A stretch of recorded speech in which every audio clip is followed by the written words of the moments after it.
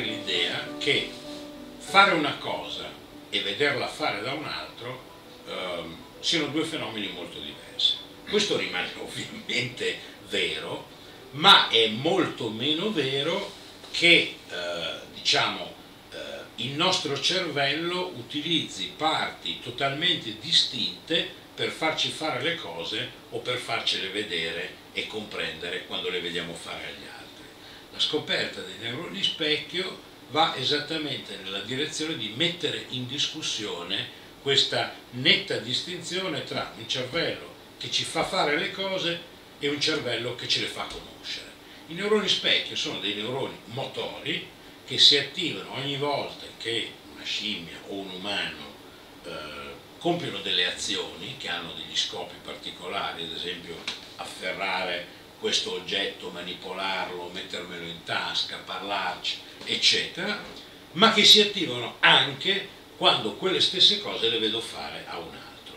Quindi un neurone motorio che quando si attiva in una certa configurazione manda l'output a altri neuroni che fanno contrarre i miei muscoli e quindi mi fanno eseguire il movimento, l'azione, ma che quando io invece sono lo spettatore dell'azione altrui si attiva ugualmente, altre parti del mio cervello no, dal momento che io sono fermo, i miei muscoli non si contraggono, ma una parte del mio cervello motorio è attiva. Sta facendo che cosa? Sta simulando l'azione che sto vedendo eseguire all'altro.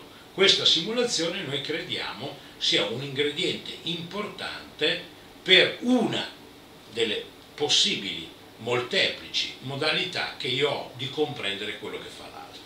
Diciamo che questa costituirebbe la modalità più diretta che mi permette di capire che quando vedo una mano che si dirige verso questo oggetto capisco, comprendo, riconosco che l'altro sta per afferrare quell'oggetto, quel telefonino.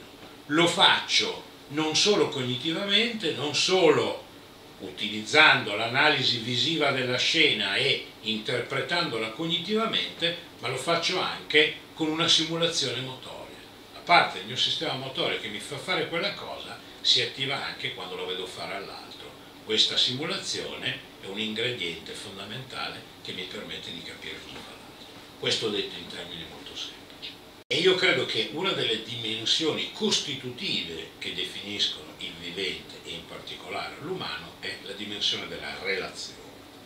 Il termine sé altro da sé, soggetto, oggetto, eh, io, altro, sé, altro, sono termini correlativi quindi che hanno un senso solo nella misura in cui si definiscono reciprocamente. Non c'è sé senza altro da sé, non c'è altro da sé senza un sé. Allora, eh, la copresenza dell'altro in me è anche testimoniata a livello di descrizione tipico delle neuroscienze cognitive, quindi un livello di descrizione che attiene non in modo olistico all'individuo, al soggetto, ma a un suo eh, aspetto parziale, un suo componente, sistema cervello-corpo, il neurone specchio è un'ulteriore esemplificazione del fatto come questa in qualche modo relazione chiasmatica eh, tra me e l'altro è presente anche a livello del sistema nervoso centrale, nella misura in cui ci sono neuroni circuiti cerebrali che mostrano questa duplicità di modalità di attivazione. Quando faccio io, ma quando vedo fare l'altro, quando provo in prima persona quell'emozione io, ma anche quando la vedo provare all'altro, quando esperisco quel contatto tattile io, ma anche quando lo vedo esperire all'altro. Credo che questo sia anche riconducibile in termini molto generali da un punto di vista biologico a una delle caratteristiche fondamentali degli organismi viventi, in particolare eh, eh, soprattutto dei mammiferi. E il mammifero nasce nell'altro e con l'altro e quindi stabilisce una relazione fondamentale necessaria con l'altro fin dal suo concepimento.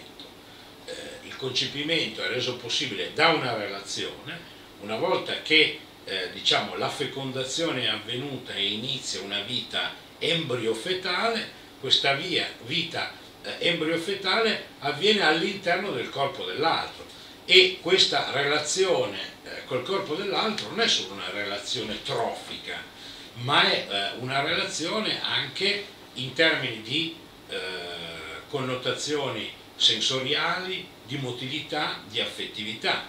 Eh, un risultato recentissimo dimostra come i neonati, se studiati elettroencefalograficamente, i tracciati elettroencefalografici dei neonati mostrano una traccia, una memoria acustica della ninna nanna che il feto ascoltava quando era ancora in utero nelle ultime fasi della gestazione. Quindi ascoltare appena nati la ninna nanna che ti cantava tua mamma viene interpretato dal tuo cervello in modo diverso rispetto a quando ascolti una melodia analoga ma che non è la melodia che hai ascoltato in utero.